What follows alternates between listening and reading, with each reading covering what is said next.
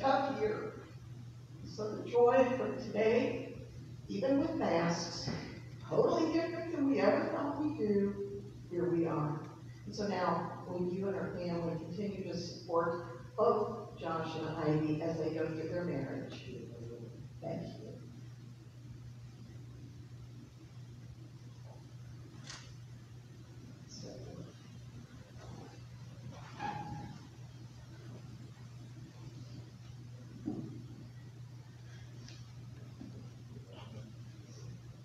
The grace of our Lord Jesus Christ, the love of God, and the communion of the Holy Spirit be with you all. You may be seated. Let us pray. Eternal God, Creator and Redeemer, as you gladdened the wedding at Cana, Cana in Galilee by the presence of your Son, so by his presence now bring your joy to this wedding. Look in favor upon Josh and Ivy and grant them, grant that they, rejoicing in all your gifts, may at length celebrate with Christ the marriage feast which has no end. Amen. We're going to read a couple of scriptures today, but I need for you and you and Josh and I to know this is yours. As we begin, we always want to remember the center of where our relationship is, and it is in God. And you chose a couple of verses, so from 1 Corinthians 13. Love is patient and love is kind. It does not envy, it does not boast. It is not proud. It does not dishonor others. It is not self-seeking. It is not easily angered. It keeps no record of wrongs. Love does not delight in evil, but rejoices with the truth. It always protects, always trusts, always hopes, and always perseveres. Love never fails. But where there are prophecies, they will cease. Where there are tongues, they will be still. Where there is knowledge, it will pass away. For we know in part, and we prophesy, prophesy in part. But when completeness comes, what is in it, in part, disappears. And from Ephesians, the fourth chapter. As a prisoner for the Lord, then, I urge you to live a life worthy of the calling you have received. Be completely humble and gentle. Be patient, bearing with one another in love.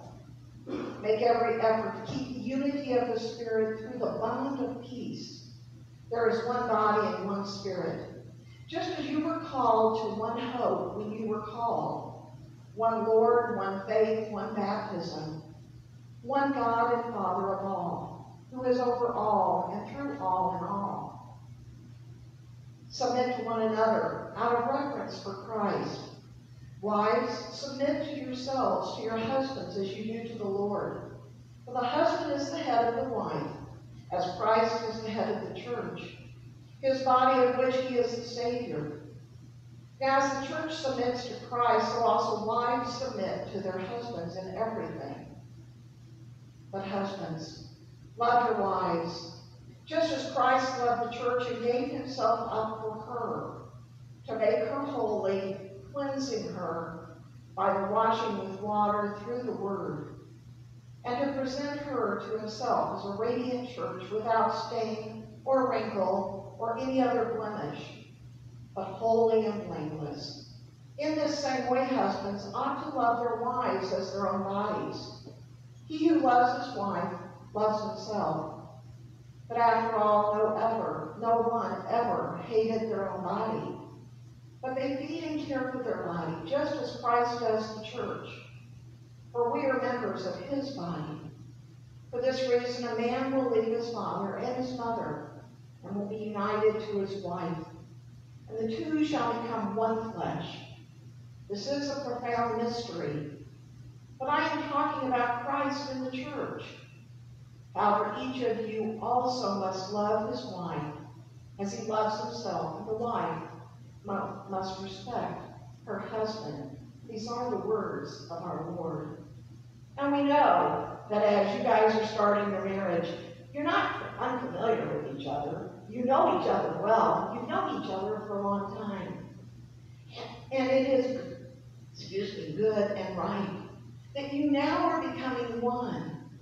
I have enjoyed our year plus of having conversation, of getting to know each other, of getting to maybe even touch some of those areas that you went, you mean we have to talk about? I mean, we have to talk about like babies and sex and planning things and timing and all these. You mean we have to talk about our dreams and our future?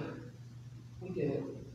And that's what was important is that as each of you struggled a little bit in answering questions at times, we had to put it in God's hands. And that's what I feel like we did. We walked through this year together, getting to know what was and what wasn't. You maybe learned something about each other you didn't know before, even though you've known each other a very long time. But I wanted you to have this as the center of what you start your marriage. You're starting it here. It was important to come to God and to say He's the important one in our marriage. And how do we live that together? You've brought your friends and family together. But I want you to know that this is where we center ourselves. That's why this is an important piece in what we do today. It is what guides us through the years ahead. Oh, they're not going to be so pretty as today. You're going to have some days and that are pretty tough. That life won't go like you planned it, or so you think. But maybe it's time then that we stop and say, okay, God, what is this all about? What am I supposed to do? What are we supposed to do? See, this is the day that we get to say, yeah. And we see both of you so glorious and so beautiful, all cleaned up as you stand here and get to say, I do. That I commit myself to each other, just as the Ephesians text. It's not about one being lesser than the other, though. It's all about you really are equals. You, Ivy, have to say yes. Okay, we're in this together. But Josh, it is yours to take responsibility and say yes we will work this through. Together, with time. God is the center, I know, of where you guys are. I've watched you grow in this year. I've watched your excitement. I heard anxiety in the last, oh, 10 days of trying to get a license and figure out how to get that done. And it's changed a lot in, since 41 years ago when I got to do it. It's nothing like that was then. But you know what? You did it. You figured out you triumph over something. God is good all the time, and all the time God is good. And He will carry you both throughout your marriage. Amen.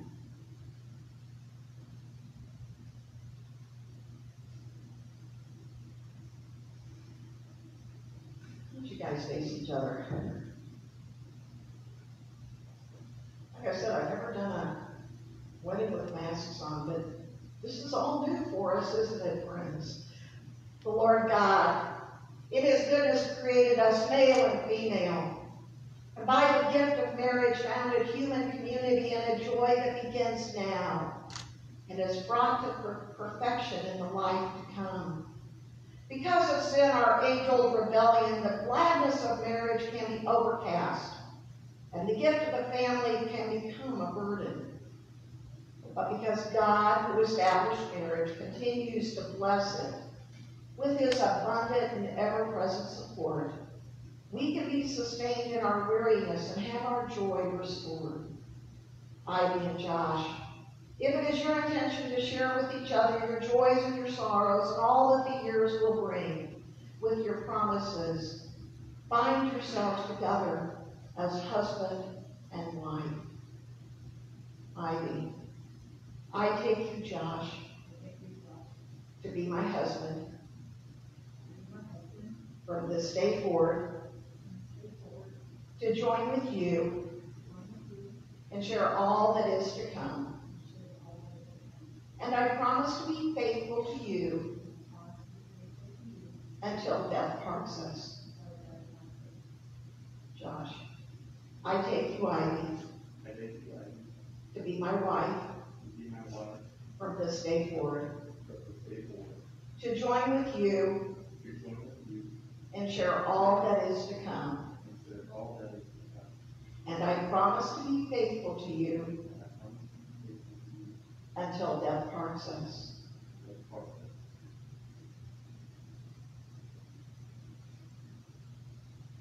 The rings are a sign of your unending love, and really of God's unending love for each of you.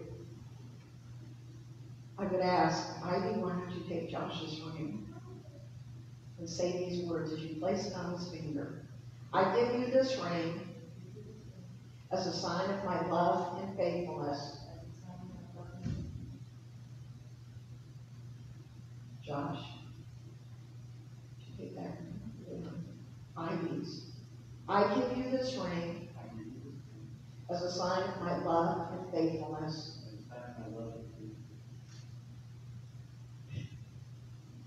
Ivy and Josh, by their promises before God and in the presence of this congregation, have bound themselves to one another as husband and wife.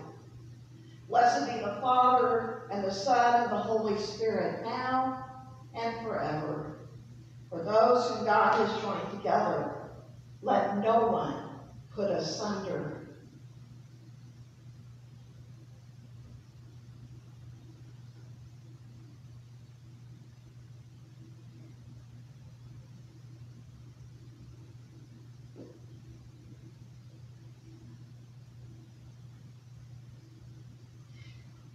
They are braiding together for him a cord, a cord made up of three strands.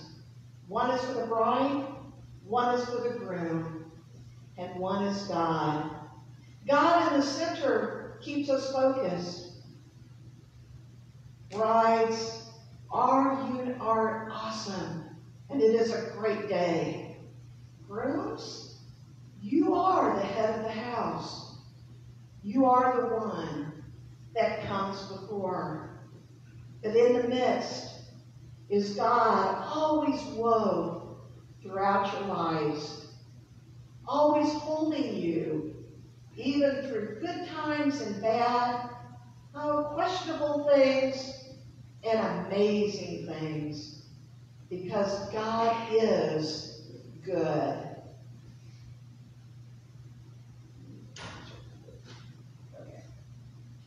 This is a sign for you to, and a remembrance when you go home. You hang it and you remember that this day your lives were intertwined with each other. Your families are intertwined no matter what. You've got them all, but they're together with God always as the gold wrapped around both of you. See, it's never, it's never separate. They're always wrapped together. That's how your lives should be. Thank you. Go ahead and kneel. the hard part. I know that. Let us pray. The Lord God who created our first parents established in them marriage. Establish and sustain you that you may find delight in each other and grow in holy love until your lives end. Let us bless God for all the gifts which we receive today. Lord God, constant in mercy, great in faithfulness. With high praise, we recall your act of unfailing love for the human family, for the house of Israel, and for your people, the church. We bless you for the joy which your servants, Ivy and Josh, have found in each other and pray that you give that you give to us such a sense of constant love, that we may employ all our strength in a life of praise of you, whose work alone holds true and endures forever. Faithful Lord, source of love, pour down your grace upon Ivy and Josh, that they may fulfill the vows that you have made this day and reflect your steadfast love and their lifelong faithfulness to each other. As members with them of the body of Christ, use us to support their life together. And from your great store of strength, give them power and patience, affection and understanding, courage and love towards you, towards each other, and towards the world, that they may continue together in mutual growth according to your will in Jesus Christ. Gracious Father, you bless the family, and you renew your people. Enrich husbands and wives, parents and children more and more with your grace, that strengthening and supporting each other, they may serve those in need and be a sign of the fulfillment of your perfect kingdom, where your Son, Jesus Christ, and the Holy Spirit live and reign. And God, let this be our prayer, that your love may abound more and more in knowledge and depth of insight. And know well that God's command is to love each other as I have loved you. And now I ask that we join together in the Lord's Prayer. Our Father, who art in heaven, hallowed be thy name. Thy kingdom come, thy will be done, on earth as it is in heaven. Give us this day our daily bread, and forgive us our trespasses, as we forgive those who trespass against us. And lead us not into temptation, but deliver us from evil. For thine is the kingdom, the power, and the glory, forever and ever. Amen. And now, Almighty God, Father, Son, and Holy Spirit, keep you in his light and truth, his love now and forever. Amen. You may stand up. Okay. Well, there's one thing we had to have Josh practice on last night. Um, it seemed like kissing was maybe a problem a little bit. So his homework last night was to go home and practice kissing. So, would you like to kiss your bride? All right.